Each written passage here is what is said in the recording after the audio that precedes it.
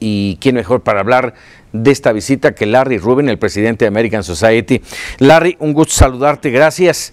Fue, fue una jornada complicada la del, día, la del día de hoy para ti especialmente. Pues muchas gracias, Paco. Muy buenas noches. La verdad sí, un día, un día largo, ¿no? Con un montón de, de juntas y bueno, que empezaron desde el día de ayer que llegó el secretario, los dos secretarios llegaron anoche. Así es. A ver, dime una cosa, ¿cómo, cómo entender lo ocurrido hoy. En términos de, muchos matices, Larry, eh, por un lado, la llegada en medio de la polémica de estas directrices para eh, lo que se le llamó en su momento eh, una, aceleración en términos de, mm, expulsión, déjame decirlo así, de expulsión de, indocumentados hacia México.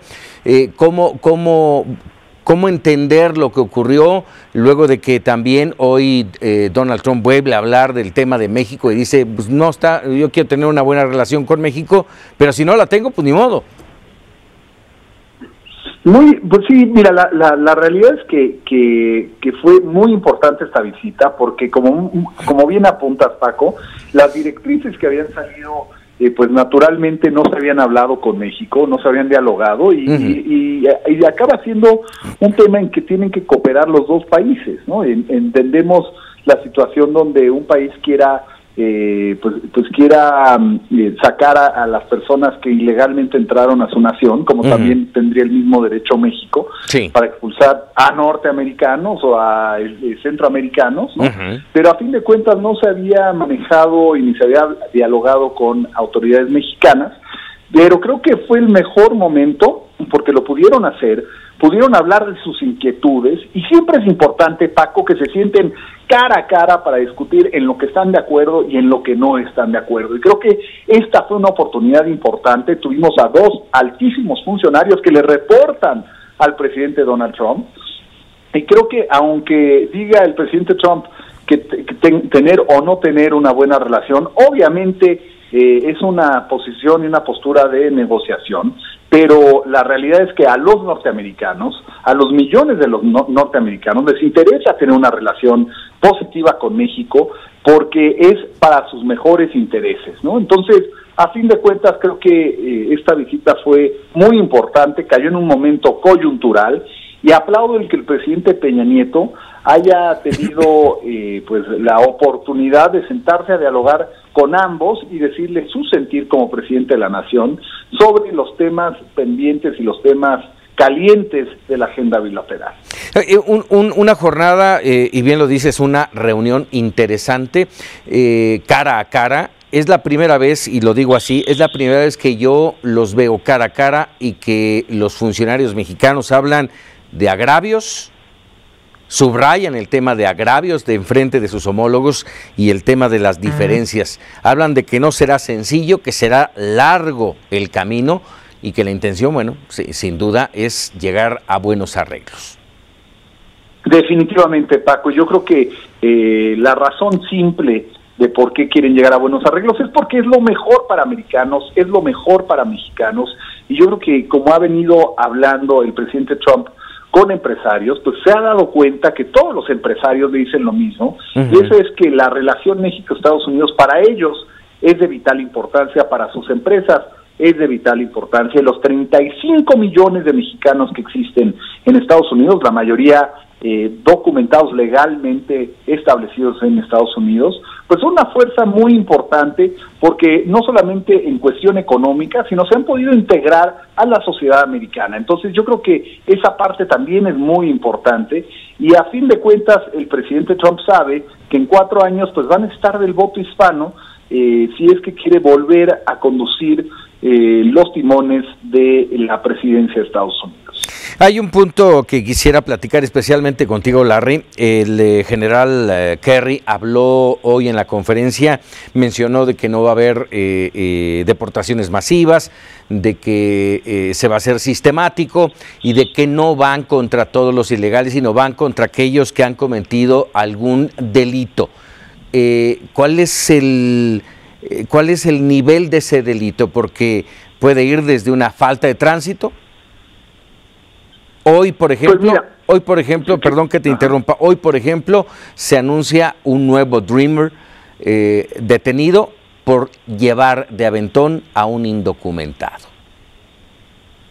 Claro, y, bueno, e, e, ese sí es un tema delicado porque eh, pues hay que entender que, que cualquiera que, que, por ejemplo, en México te arrestan, eh, te pueden arrestar si tú estás con alguien que es un criminal, ¿no? Eh, naturalmente, en, eh, como es difícil en ese momento determinar la fragancia, quién estuvo cometiendo el delito, pues obviamente si un dreamer es, es agarrado con un ilegal, pues primero se le tiene que investigar que no haya sido él el que cruzó a ese ilegal y obviamente conlleva una serie de temas importantes, creo que hay que subrayar. Y definitivamente ha sido claro eh, John Kelly en decir los que los que son el objetivo son aquellos que tengan esos antecedentes criminales, porque Estados Unidos no los quiere, no quiere migrantes ilegales que tengan antecedentes criminales, particularmente antecedentes criminales serios, ¿no? Que hayan matado, violado, robado, ¿no? Y, creo que ninguna nación, ni México, quisiera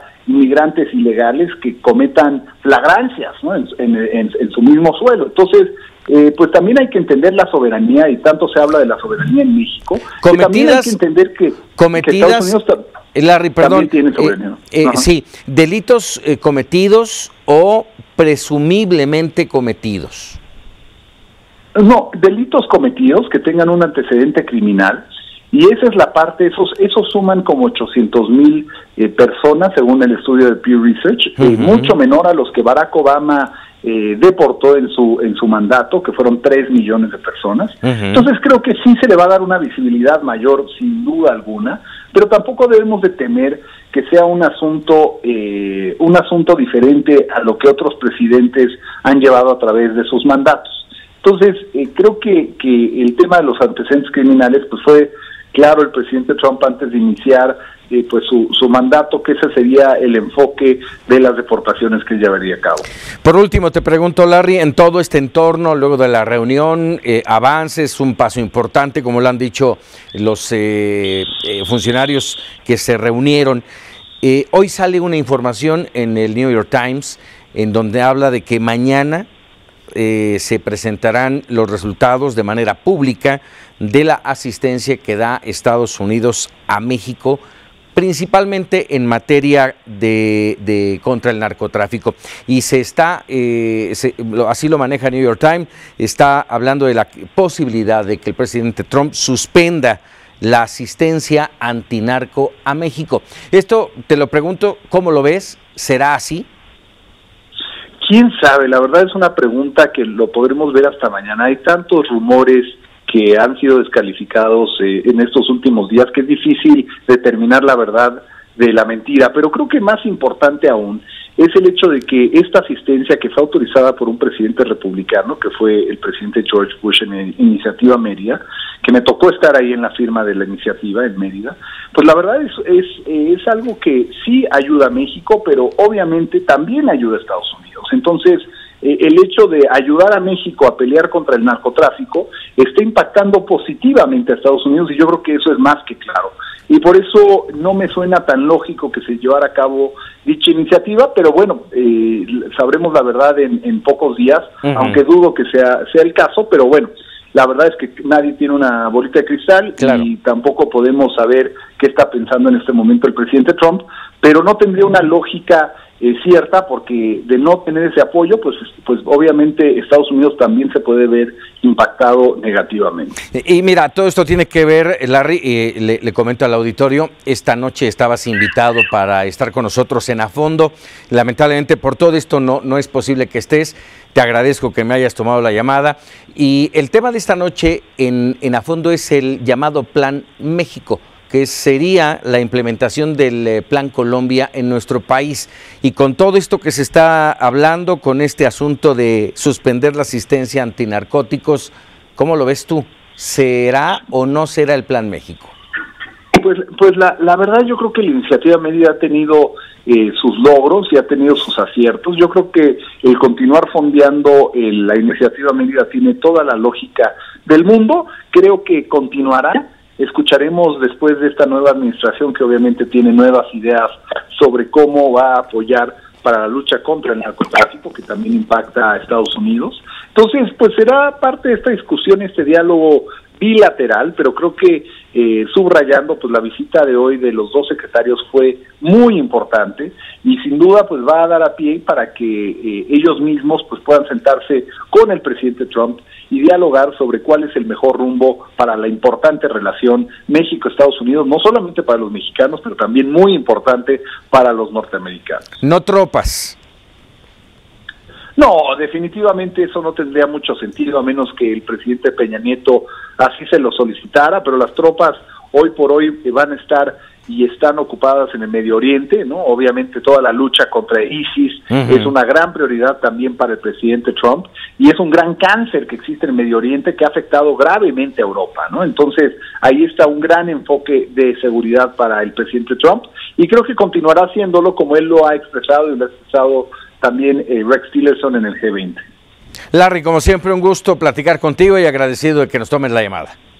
Paco, siempre muchísimas gracias a ti por la oportunidad de hablar con tu auditorio. Que tengas muy buenas noches. Muy buenas noches. Larry Rubin, el presidente de American Society y representante del Partido Republicano en nuestro país, además de uno de los candidatos a ser embajador de los Estados Unidos en México.